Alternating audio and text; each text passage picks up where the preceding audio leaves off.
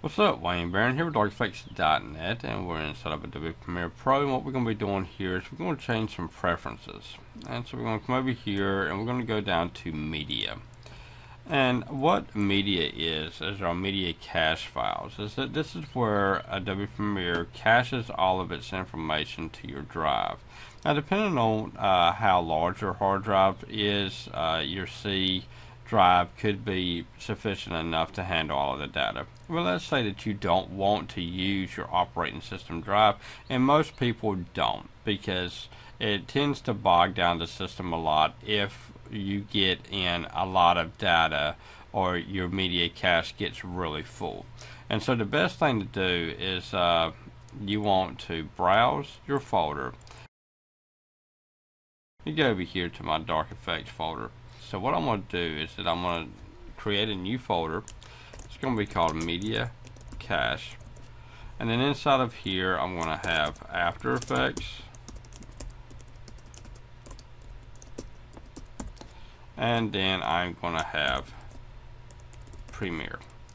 So let's go inside of Premiere and we've got two folders here. We've got Media Cache File and Media Cache Database. So what I want to do is I want the cache files and the cache database.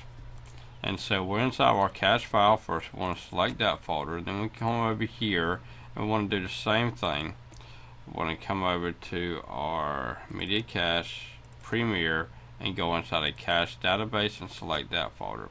And you want to choose to move all of your cache database over to that folder now and so this way it's going to load it from another partition or drive instead of trying to load it from the operating system which if you was to look at most uh, people in Adobe that do their videos and demonstrate how things are done this is uh, the way that they do it. Whether or not they're using Windows or Mac they tend to put everything on another partition or another drive instead of having it sitting on the main operating system drive because it does tend to bog the system down.